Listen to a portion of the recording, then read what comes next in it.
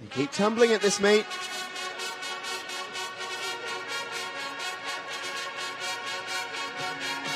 hasn't been a meet of truly gluttonous world records though, because often what that means is there's races where swimmers have just gone out and owned it, and it's quite actually quite a boring race in that sense for the neutral. We have seen so much competitive swimming, and we've seen so much of what we saw in that men's S14 where we had two world record pace setters. It's it's been ridiculous. This race was a fantastic one as well.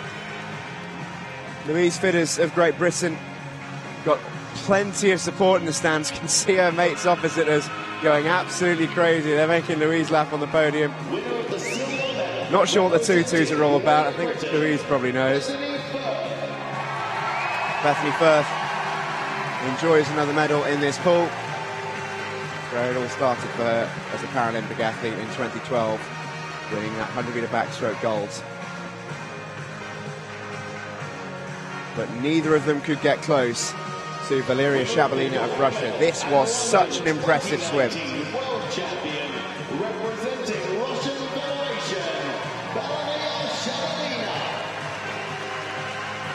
She's been pretty level-headed all the way through this meet, Shabalina.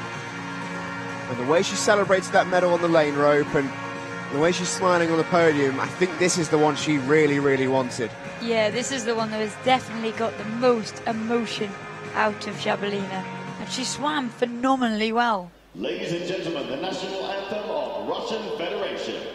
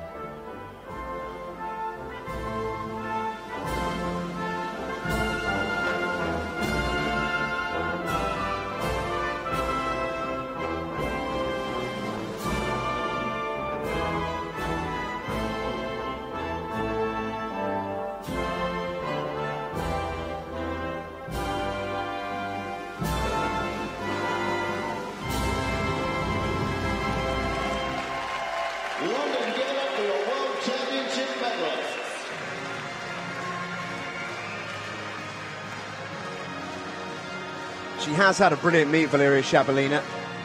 Make no mistake about that. It's her fifth medal of the competition. She took silver in the backstroke behind Bethany Firth and bronze in the breaststroke behind